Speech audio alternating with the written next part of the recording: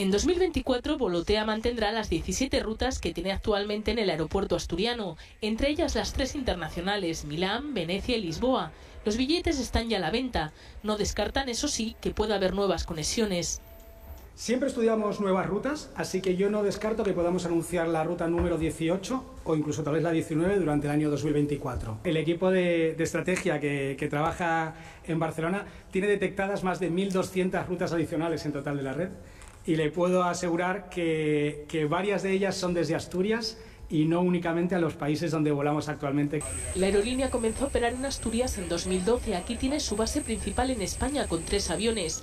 Hoy han hecho balance del 2023, en el que han operado más de 4.200 vuelos desde la región, una cifra que prevén aumentar en 2024.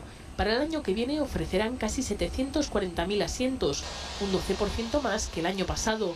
Por el momento descartan la ruta de Madrid, pero mantienen la de Barcelona también durante el invierno. Precisamente desde Barcelona ha llegado hoy su pasajera 2 millones desde que comenzaron a operar en la región. Ha recibido un año de vuelos gratuitos para ella y un acompañante.